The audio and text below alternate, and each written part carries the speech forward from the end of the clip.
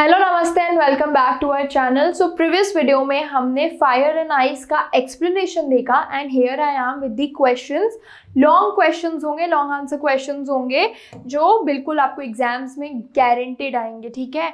सो first question बोलता है discuss how extreme behaviour can hasten the end of the world with respect to fire and ice अब extreme behaviour मतलब क्या? कि या तो फायर में एकदम एक्सट्रीम हो जाना, या तो आइस में एकदम एक्सट्रीम हो जाना। अब आंसर है fire symbolises desire and ice symbolises hatred Desire is a kind of intense love or want that focuses people on getting and possessing and acquiring. मतलब हम बहुत ही ज़्यादा डिटरमाइंड हो जाते हैं किसी चीज़ के पीछे, हम उसके पीछे बिल्कुल रश करेंगे कि हमें ये चीज़ चाहिए ही चाहिए। हम मे बी वो चीज़ अक्वायर करने के पीछे किसी और का भी क्या कर सकते हैं डैमेज कर सकते हैं। एंड उसी चीज़ को रॉबर्ट फ्रॉस्ट यहाँ पे लिंक कर रहे हैं फायर से मतलब एक डिज़ायर चीज़ों को सिर्फ़ और सिर्फ़ अचीव करने की। एंड हम उसमें ये नहीं देखते कि सामने वाले को बुरा लग रहा है या क्या है। हम अपने सेल्फिश रीजंस के पीछे ही भाग भाग के क्या कर देते हैं? चीज़ों को खराब कर देते हैं। ठीक है? Our society is full of people who spend their lives working to get a bigger TV to get a more stylish car and a more extravagant house तो हमारी सोसाइटी में, हमारी सोसाइटी क्या है? पूरी ही पूरी स्टेटस ड्रिवेन है। ठीक है, आप ये वर्ड भी यहाँ पे लिख सकते हो कि हमारी सोसाइटी क्या है। हमारी सोसाइटी स्टेटस ड्रिवन है। मटीरियलिस्टिक थिंग्स के पीछे बहुत ज़्यादा क्रेजी है, बहुत ज़्यादा फॉन्ड है। हमें क्या चाहिए? हमें एक बड़ा घर चाहिए, हमें एक बड़ी टीवी चाहिए, हमें बड़ी कार चाहिए।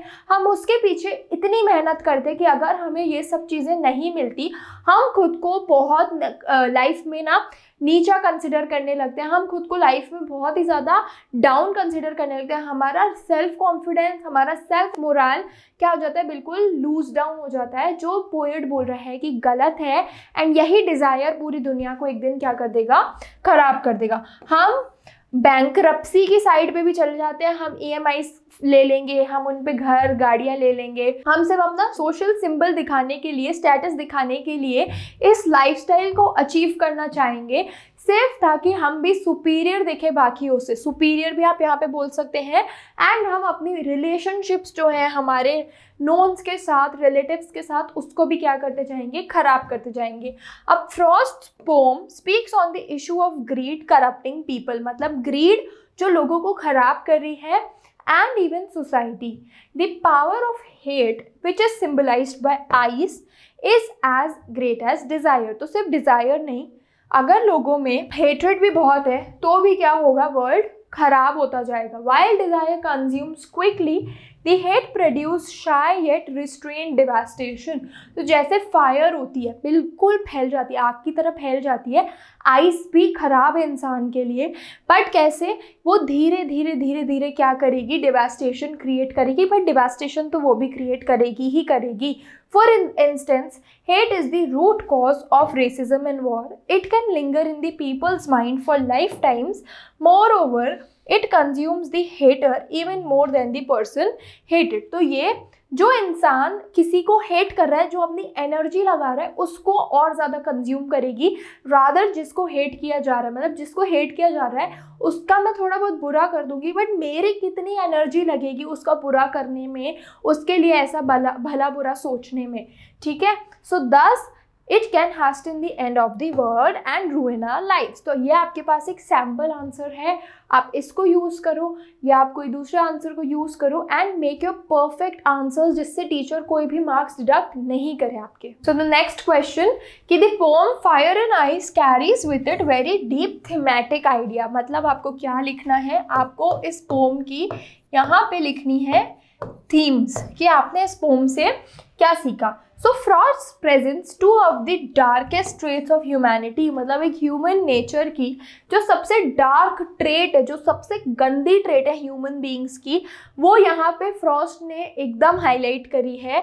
एक है द कैपेसिटी टू हेट दूसरे की तरफ़ हेटरेड रखना एंड दूसरी है the capacity to be consumed by lust और डिज़ायर ठीक है?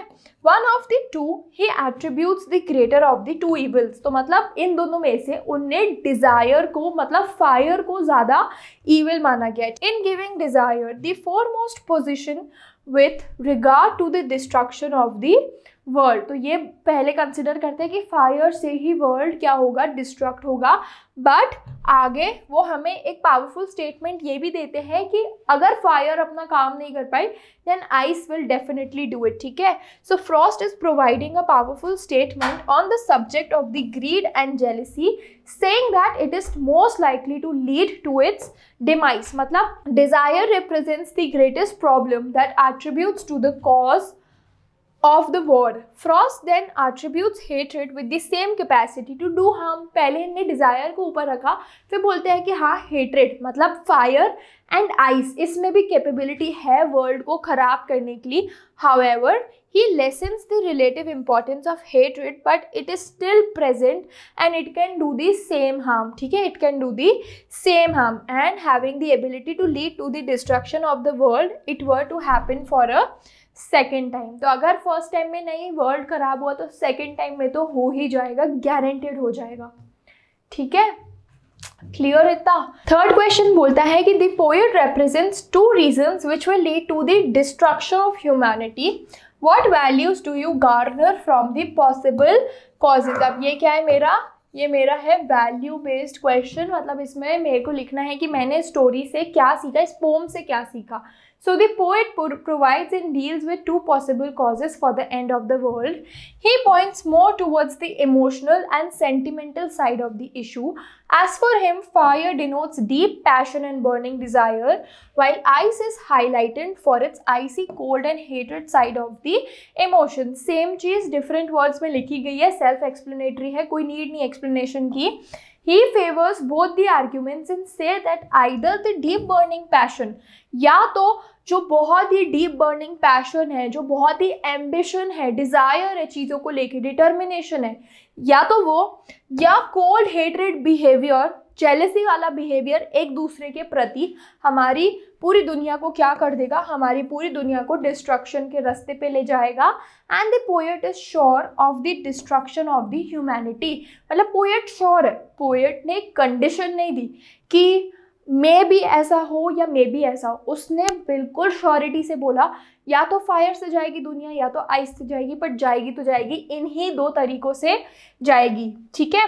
The love that people have for one other will turn into hatred क्यों? क्योंकि यहाँ पे पूरी सोसाइटी क्या स्टेटस ड्रिवन है। इसके पास वो चीज़ कैसे है? मेरे पास क्यों नहीं है? तो एक क्या है? एक कोल्ड फीलिंग आ जाएगी एंड वो कोल्ड फीलिंग ही पूरी दुनिया को क्या करेगी? खराब करेगी। In the race of climbing up and outdo one other मतलब हम सबको क्या चाहिए? हम सबको सुपीरियोरिटी चाहिए। हम सबको कॉन्फिडेंस चाहिए कि मैं उससे बेटर ही हूँ, मेरे को उससे आगे ही रहना है एंड वही चीज़ हमें क्या करेगी? पीछे छोड़ देगी। Outdo meaning to be superior ठीक है? To be superior from one another this negative emotions will become so strong that it will surpass all the love leading to the destruction of humanity next question how will the world end support your answer with scientific explanation world कैसे end होगा? So according to the scientist the two reasons for the destruction of the world will either be heavy core और the ice age मतलब nature के accordingly भी अगर बहुत ज़्यादा क्लाइमेटीज़ बढ़ गई, बहुत ज़्यादा क्लाइमेटिक कंडीशन चेंज हो गई तो कौन सी दो चीज़ें हैं जो वर्ल्ड को क्या कर देंगी?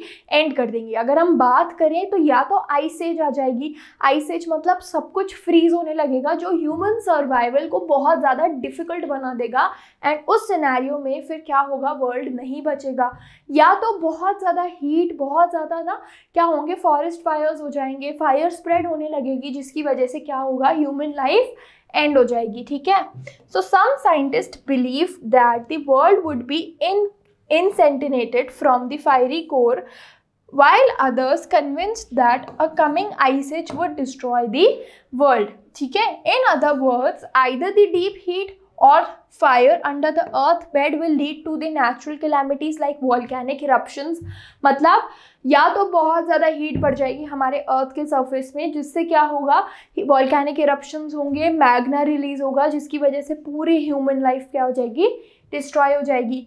या तो एक क्या होगा? आइस पूरी मेल्ट होती जाएगी या बहुत ज़्यादा फिर स्नोफॉल हो जाए, हमारी वाटर साइकिल पूरी डिस्टर्ब हो जाए, जिसकी वजह से भी क्या हो सकती है? बारिश हो सकती है मतलब स्नो हो सकती है, एक तरीके से स्नोफॉल हो सकती है। And Frost the tries to warn people against the two greatest problems faced by humanity and the consequences of the human vices with increase effectiveness तो ये हमें क्या कर रहे हैं? ये हमें बार बार बार बार वॉर्न कर रहे हैं कि आप थोड़ा संभल के रहो, अपने नेचर पे वर्क करो, अपने बिहेवियर पे वर्क करो एंड इंसान इंसान के दुश्मन नहीं बनो। ठीक है? अब आते हैं हम हमारे लास्ट आंसर पे कि today's world is conflict ridden मतलब लड़ाई से पूरा ये वर्ल्ड चल रहा है। यहाँ पे कॉन्फ्लिक्ट ही हो रही है डिस्प्यूट ही हो रहे हैं। People fight over various issues and there is no peace in the world describe world में कोई पीस नहीं है। अब इसको डिस्क्राइब करना है। So hatred is a predominant issue in today's world मतलब ये बहुत ही ना एक डोमिनेंट चीज़ है। कहीं ना कहीं कोई ना कोई किसी ना किसी को हेट कर ही रहा है। Neighbours hate neighbours brother hates brother. No one is willing to forgive other and tolerate each other. So no one is willing to tolerate and no one is willing to forgive each other. As a result of hatred we will live in a very fragmented world. If the hatred continues to rule our world and nothing will remain intact तो अगर heat continue रही तो कुछ भी क्या कर, क्यों, कुछ भी इंटैक्ट नहीं रहेगा, कुछ भी बिल्कुल करेक्ट नहीं रहेगा। एंड हमारी जितनी भी अचीवमेंट्स हैं, ये क्या हो जाएँगी? ये पेरिश हो जाएँगी मतलब ये ना के बराबर रहेंगी। And the world will come to end and if we have to save the world we will need to learn how to forgive and forgive for this we need to have enormous amount of love and passion and compassion मतलब हमारे लिए हमारे अंदर बहुत ही ज़्यादा ना forgiving nature होना चाहिए ताकि हम दूसरे वाले को माफ़ कर दें एंड वो चीज़ भूल जाएँ क्योंकि ह्यूमन ही मिस्टेक करेंगे। एंड वही चीज़ हमें क्या वही चीज़ हमें एक पीस uh, देगी पूरे वर्ल्ड में जिसकी वजह से क्या होगा जिसकी वजह से लव स्प्रेड होगा एंड कंपैशन स्प्रेड होगा ठीक है? And we will have to learn how to tolerate others mistakes तो यहाँ पे हमारे आंसर्स कंप्लीट हुए। अगर आपको ये सारी पीडीएफ चाहिए, मैंने लाइव में भी बोला पीडीएफ आपको मिलेगी हमारे टेलीग्राम चैनल्स पे। You can visit our Telegram channels and for more such videos stay tune and happy learning